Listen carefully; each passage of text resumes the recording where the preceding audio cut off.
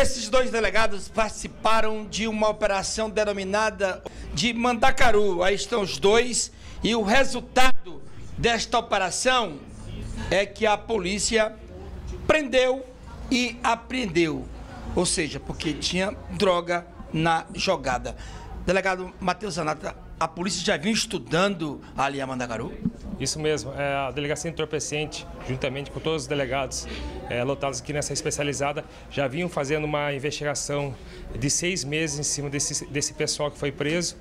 A primeira fase dela ocorreu sexta-feira, é, onde foi preso duas pessoas, que foi o Aloísio e o Carlos. O Aloísio é, era proprietário de 32 quilos de crack, que foi apreendido sexta-feira, e o Carlos era a pessoa que guardava o entorpecente, enterrava o entorpecente em pequena quantidade.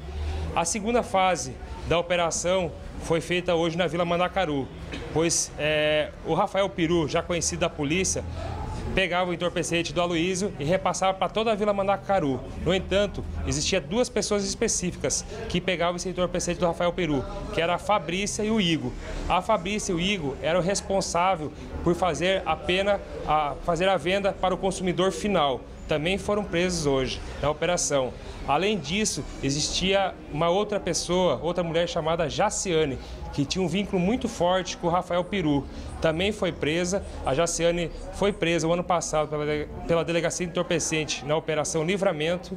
É, e a Jaciane era responsável por fazer a distribuição de crack na cidade de José de Freitas. Dando prosseguimento às diligências de entrada em cada residência da, do projeto Vila Mandacaru, conseguimos identificar mais um indivíduo nocivo à sociedade.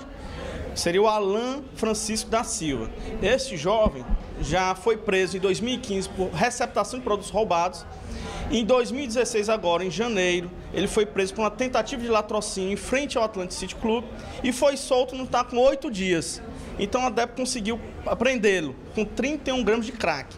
Lembrando que cada grama de crack representa três pedrinhas de crack. Então você vê, dá quase 100 pedras de crack na mão desse indivíduo que estava na companhia de um menor de idade. Eu estava comandando esta operação e de repente recebemos um, uma denúncia anônima que lá na zona norte tinha uma jovem que estava no tráfico de droga. E eu peguei duas equipes minha e chamei a Rony e fomos até lá. E lá, olha aqui. Olha aqui. Crack, cocaína e essas baterias que estavam aí, todas elas iam colocar na vagina para adentrar aonde?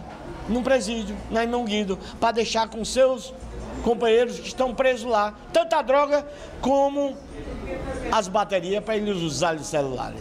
Operação Mandacaru. Várias pessoas presas. De repente, a polícia fazendo um trabalho e encontra uma jovem com droga, já se preparando para deixar no presídio. Na lente.